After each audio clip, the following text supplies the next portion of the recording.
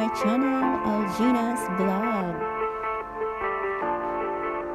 But seek ye first the kingdom of God and his righteousness, and all these things shall be added unto you. Matthew 6:33.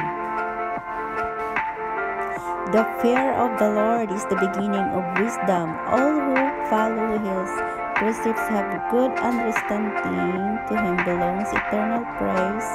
Psalms 111:10.